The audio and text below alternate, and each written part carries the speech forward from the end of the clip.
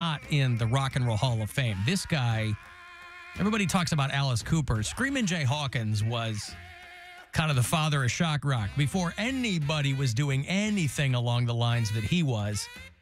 He was up there with a cape and there was a coffin and he had a skull and he was singing these songs and and he's of course he died about 25 years ago probably. I think he was having surgery and it, and it went south, but he's also famous for having a lot of kids.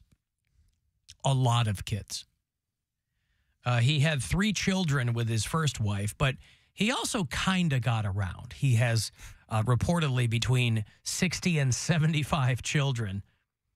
And after he died, they set up a website to trace the kids. Hey, if you think you're one of Screamin' Jay Hawkins' kids, uh, click whatever. And they were able to identify 33 of his children. Wow. And uh, a fraction of those met up and had a reunion after he died. Damn. So he was out there leaving it in, town to town, up and down the dial. But he did, I Put a Spell on You. And it was a big, big song. That's mid 50s, like I said, way before anybody was doing anything with uh, shocking kind of stuff. And, and it kind of makes sense. I mean, if you if you draw a line between him aspiring to be an opera singer, which is obviously very theatrical, and then getting into kind of blues and rock and roll. But, you know, you would think that if an artist had a few kids, they might benefit from having a big song like that. But when you got 75 kids, you know, the royalty checks are probably like 17 cents anytime that song is licensed in a movie, because that's far and away his uh, most popular song. Now, for me, I got to go back to Constipation Blues for Screaming Jay Hawkins. I don't recall anyone else who ever did a song about not being able to take a dump. It should be the theme song for Poundcake at Work. Constipation. You ever heard Constipation Blues? Mm-mm. Great song.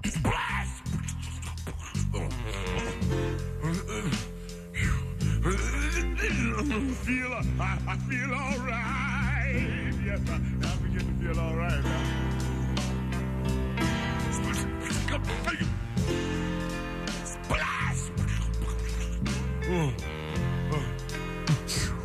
Yeah.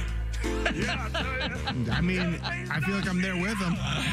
I'll tell you what a G Screamin' Jay Hawkins was. He, a couple years before he died, late 60s, he did Constipation Blues on stage with a toilet next to him at the Taste of Chicago. At the food festival, he's up there doing Constipation Blues. Couldn't have worked out better.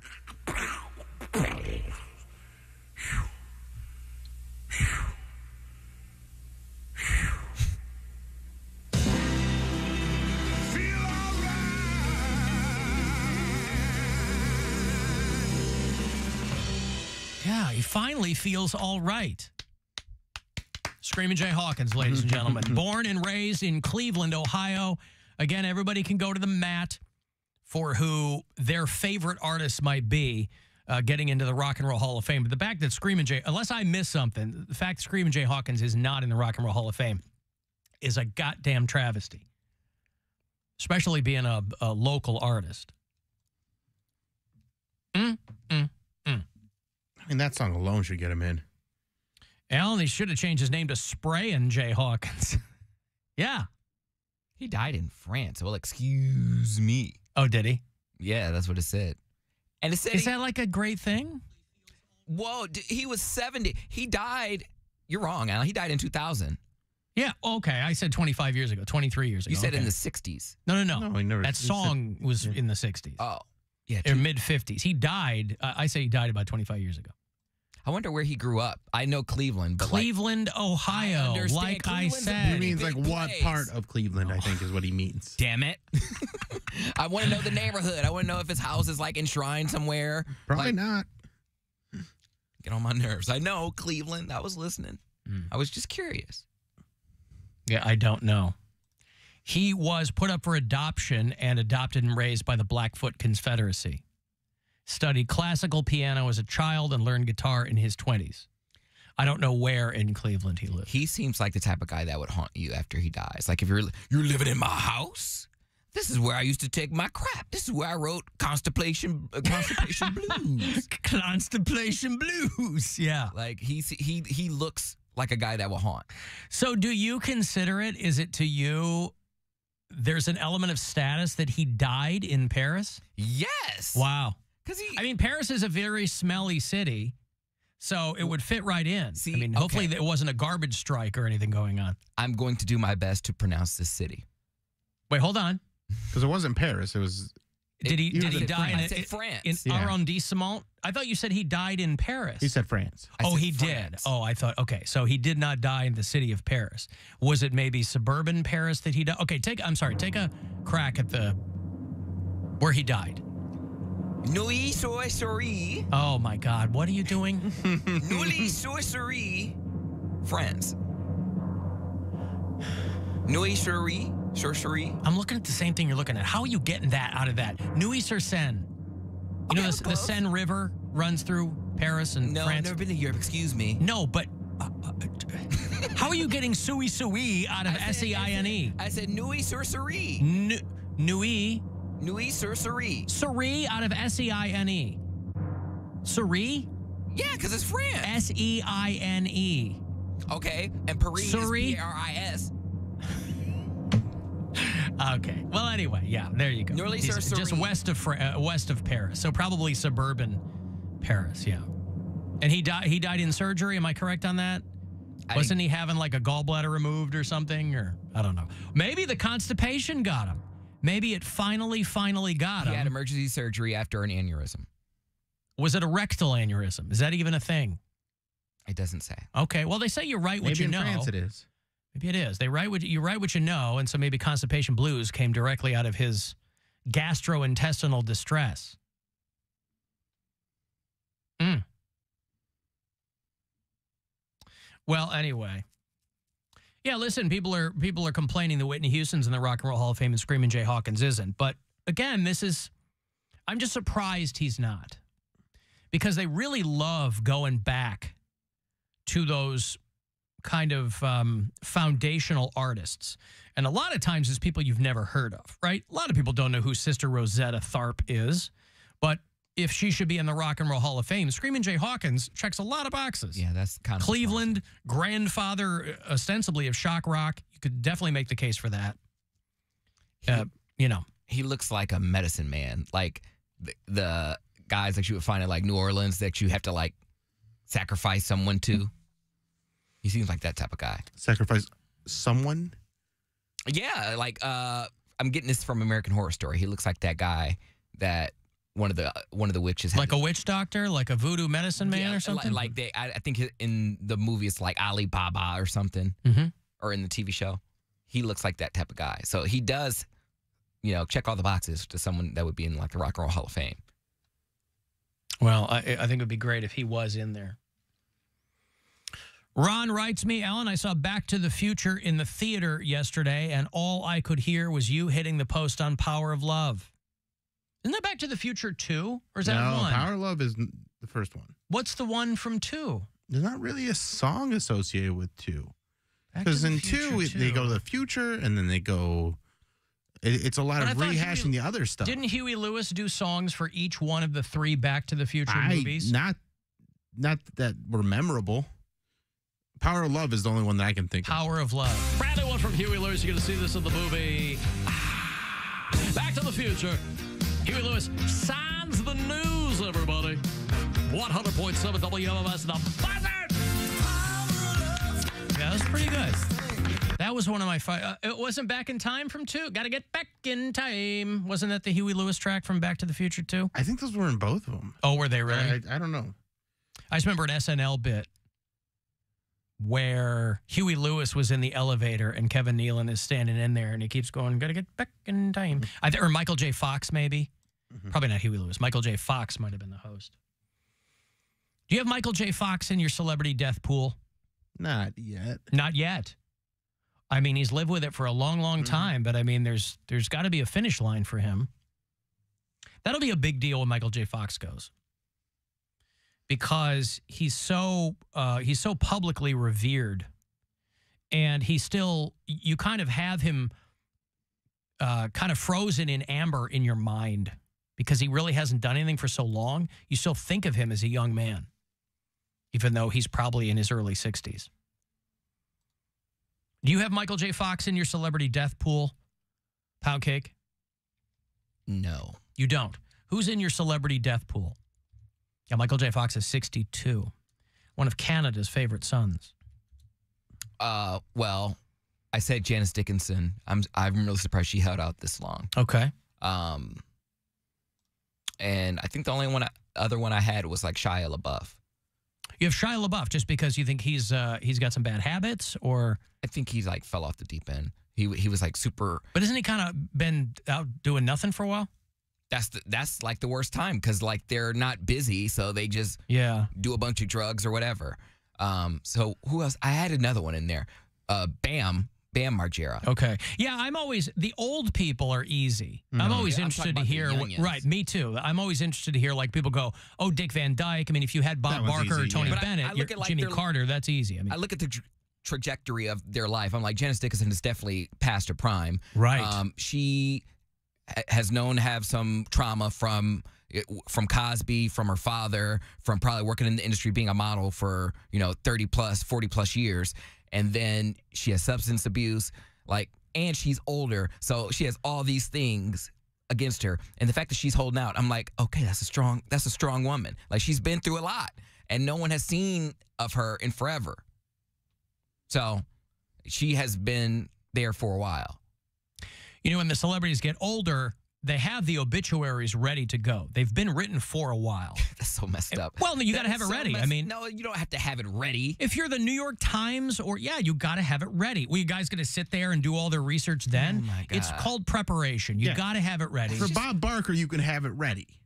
Yeah. But Michael J. Fox, I mean, I guarantee there's an obituary on him somewhere. And so if that happens, Yeah. uh, it's ready to go. I remember, I mean, sometimes people have a little bit of fun with it. Uh, one of the headlines I saw when Tony Bennett died was Bennett leaves heart and other organs in San Francisco. Even though I don't think he died in San Francisco. But yeah, Tony Bennett died this summer. I hope Shia LaBeouf holds out because Bob Barker died in August. he could still come back. He's hot still. How about it, uh, Amanda Bynes? No, she's too protected. Like she, she doesn't even have control of her. own- Protected from death. Yeah, because there, she's not going to do anything. Unfortunately, she. Oh, I got one. Delonte West. What is Why- he up to? Yeah, why Delonte West. Because he just keeps having a hard time. Is he still in the news or is he still I mean, he homeless? hasn't, he or- hasn't been in the news, but like he, every time he ends up in the news, somebody tries to help him, and then he ends up back on the street. So I don't know where he's at right now, but I, I oh feel like yeah, he's I forgot about him. yeah. That's a that would be my pick. That was the guy who.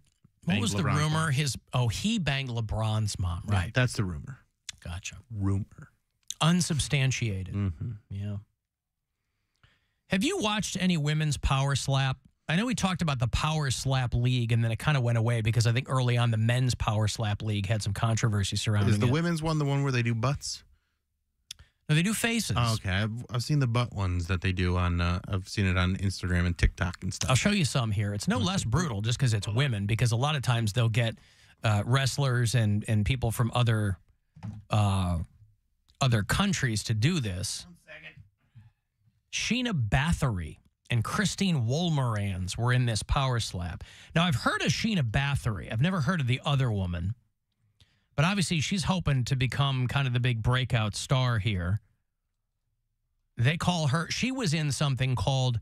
Do you remember the lingerie fighting championship? She remember that? Sheena Bathory was in that.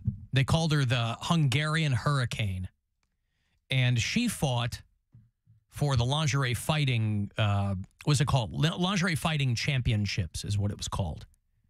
She was the Hungarian Hurricane. She fought jujitsu. And so a lot of these people trans because Dana White runs the Power Slap League. So, mm-hmm. you know, he's got his hands in these various MMA and MMA adjacent leagues. So Sheena Bathory. So the first slap here, Christine Wolmerans takes it pretty well. If you're watching this here, But we're gonna find out. you see that Do that. just to Play the again. face. Wow. but we're gonna find out. Just mean mugs her because she takes it. But then Sheena Bathory knocks her out, and it looks like she slaps her not as hard. But and I don't know how you get a TK. I, I don't know how you get a KO with the slapping. But I this think girl you knock goes, him out. I think you literally knock him out. Let me play it again. Was it was on you? but it's like she it's like she fell down and was dazed. Yeah. Yeah. I mean, this is massive head trauma. I mean, it looks like I don't like stuff. I'm sorry. I don't like violence, violent sports. well power slap, and this girl's like, I want to slap Ronda Rousey. I don't That like that who I idea. want next. Bring her to me. Now knowing all this, what do you want to be next for you here? Next, um, maybe Ronda Rousey. she have done many type of sports. Like this right? reporter in the superhero outfit, with too, skin tight probably. Why pleather. not? And we both have judo background. O- Obviously, I have much big respect to her because she did it much better, higher level. But it would be really uh, a big pleasure to fight against her. Hey, Dana, there's an idea. Ah, big pleasure to fight against her. I'd love to slap her face. A slap that hard will give you tinnitus. Like, Well, that's what I'm saying. This girl, you know, if they're boxing and somebody gets knocked out, they go down and they're out, right? Lights out. Mhm. These girls, you keep getting slapped. You just keep getting your bell rung, like on. So you end up falling backwards, but your eyes are open. You're staring. I mean, so women's power slap is out there happening. Yeah, of course, you got to watch it on Rumble. Do you know what Rumble is? Rumble is like a far right social platform. That's where this air. You know, for people who think Twitter's too woke, uh, not enough Nazis. So Rumble probably grabbed this right away. Oh, women getting slapped? We're way into that. Yes, our audience would love to watch women getting slapped, I don't like but they're trying to. Dana White's trying to get it out there and get people paying attention to it. They did ask him if there was going to be an interim fight for Stipe. They canceled uh, the big Madison Square Garden thing because Jon Jones tore his pec. And so they were like, Are you going to have Stipe fight someone else? And he said unequivocally, No. Stipe is not fighting for an interim title. You know what I mean? I, I, I wouldn't. So Jones said, I want to fight Stipe. I said, You're fighting Stipe. This is, you have the greatest heavyweight of all time versus the greatest mixed martial artist of all time. This is a legacy fight for both of those guys. I mean, to even call Stipe and ask Stipe to fight for an interim title is, you know, complete disrespect. What if we put Stipe in women's power slap? Like as a Oh. referee, as Okay. a referee. Referee, that's different. All right. I'm Something gonna- to consider. if you uh, Google or go to YouTube and search butt slap competition, uh, that that's more my speed. I feel like we played this when it was the booty slapping competition. Yeah.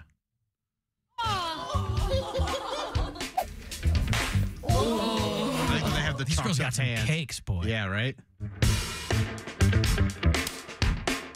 They practice on the heavy bag. my channel. It's Bella. So I don't know if you've been aware, but all over TikTok right now, there's been booty slapping competitions. Maybe it's just my for you page, but they're like this one and this one. So I thought I'm gonna bring down seven sexy OnlyFans girls. I'm gonna recreate it because why not? Content.